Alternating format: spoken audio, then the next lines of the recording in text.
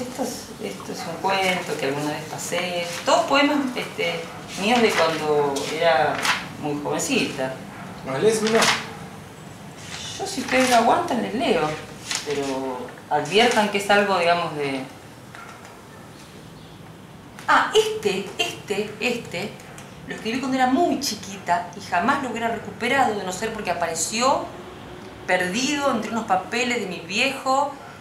Entonces lo copié. Pero, ojo que era muy chiquita. Lo leo, debo haber tenido 9, 10 años.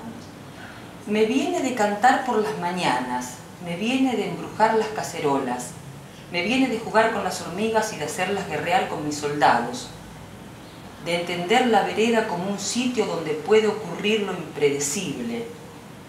Y la sopa de letras, ¿ves que? Y la sopa de letras un milagro donde encontraba el nombre de mi madre.